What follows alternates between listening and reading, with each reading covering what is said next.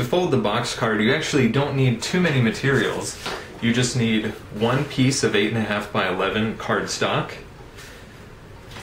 You're going to need a scoreboard, and hopefully your scoreboard has this angle tool.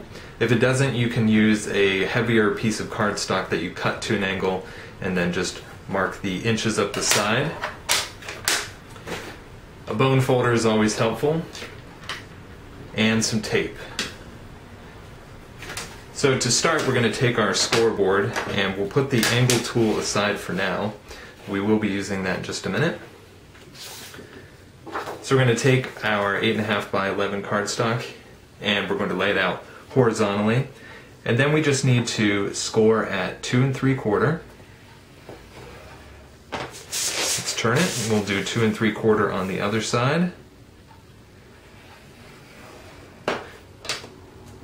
So these are going to end up being the gates so that when you open up the card, that's what you can put your design on. Now we're going to turn it vertically and score it at one and a half. Turn the paper and we'll do the other side at one and a half.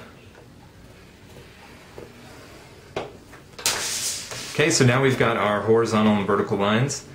These horizontal lines are going to end up being the short edges of the box, and like I said, the vertical lines will end up being the gate so that when you open it, they're the taller pieces.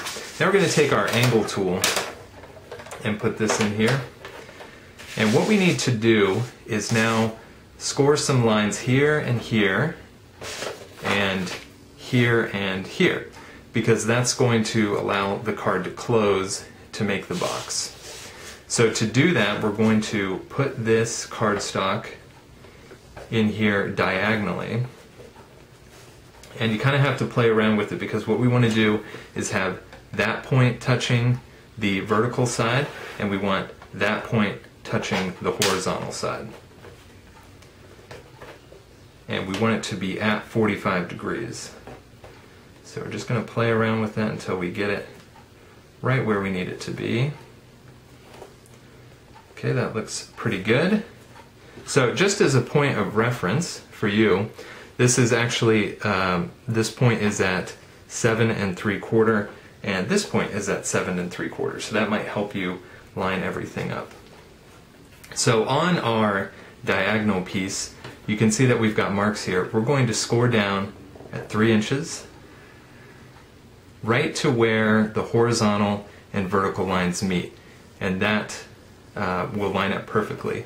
Now leave the cardstock exactly where it is because now we need to make a score line on this part and we're going to do that at 6 and 7 eighths along the horizontal. So just take your score line from there, start scoring, and we're going to again score it right to where the horizontal and vertical lines meet. Okay, so we've got one here and one here. This one's at 3, this one's at 6 and 7 eighths. So now we're just going to turn the paper and we're going to do the same thing on the other side. Again, we're going to line this up at 7 and 3 quarters on both points. And then we're going to take from here 3 inches just to where the horizontal and vertical lines meet. Up here we're going to do 6 and 7 eighths again to where those lines meet. Now let's flip the paper over We'll do the same thing again. Okay, so we'll start here, three inches. Here, six and seven eighths. Turn it. And this will take care of the last set of lines. So three inches, and 6 and 7 eighths. Okay, so now our lines are done. We can put the scoreboard away, and you should be able to see that we've got our horizontal, our vertical, and our diagonal lines all scored in. So what we're going to fold first is we're going to fold those horizontal lines, the one and a half inch lines, in. Make sure everything lines up. Use your bone folder to make it nice and even. Good crease. Let's turn that, fold the other side.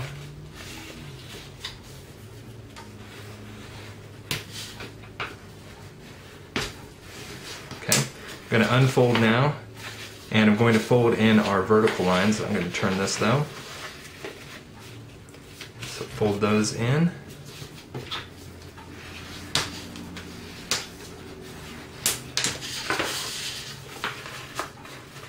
Do our other side.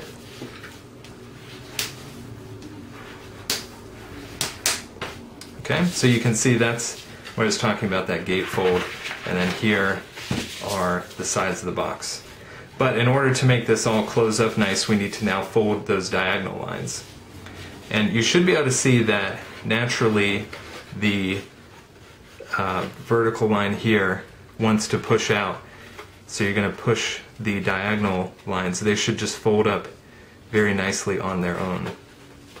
So we're actually folding those diagonal lines the opposite way of that vertical line. So do it on the other side here. And you'll see it makes this little point, this little pocket. And you should see now how that's going to fold up to make our box. So we just need to do that on the other three sides. And like I said, this should just fold up very naturally on its own without much coaxing from you. So there, turn it again. If you just kind of push, you can see it just wants it just wants to fold up on its own. You don't even have to do much. Just make it nice and tight.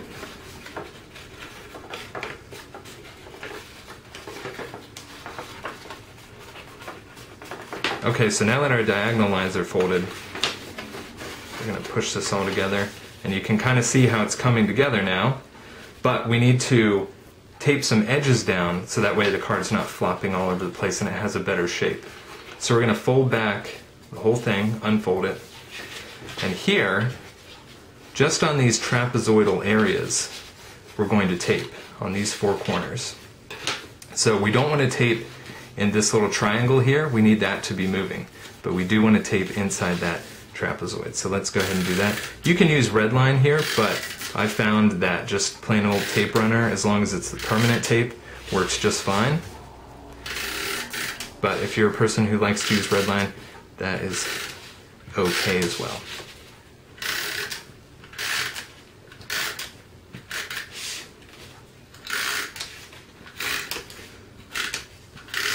Okay, so now what we're going to do is fold that back down, make sure that everything lines up.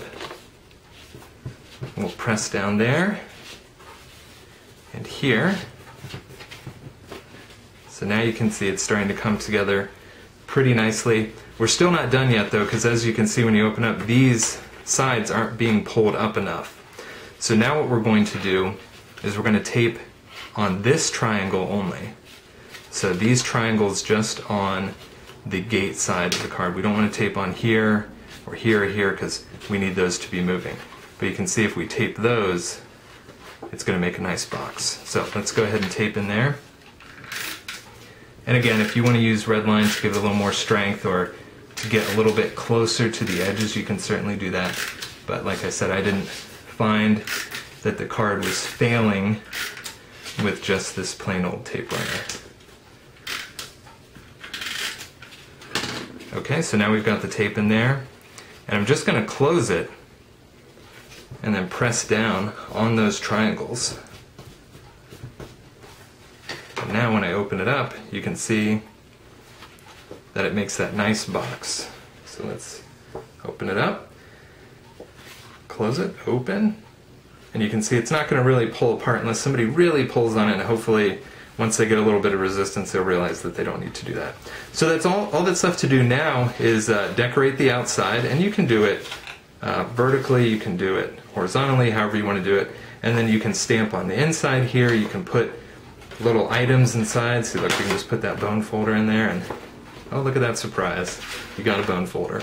But what's really nice is you can make um, ornaments or gift tags or any kind of little tchotchkes, pictures, any kind of loose item in there, maybe even some uh, larger confetti kind of floating around in there. Looks really cool. So I'm gonna stop the camera, I'm gonna do a little bit of decorating and I'll come back. Okay, I'm back and I've finished decorating my card. You can see here's the front. This is a birthday card.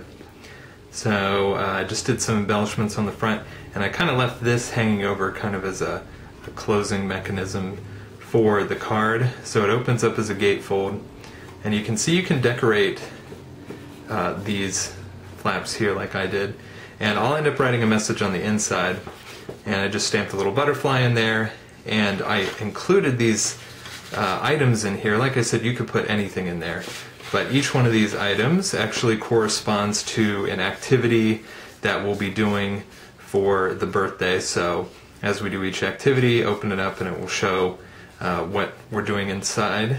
But what's nice is when you're done, you can just put it right back into the box. But like I said, you can put uh, almost anything in there. So I hope you enjoyed this card, and if you end up making one, please post a link to it in the comments.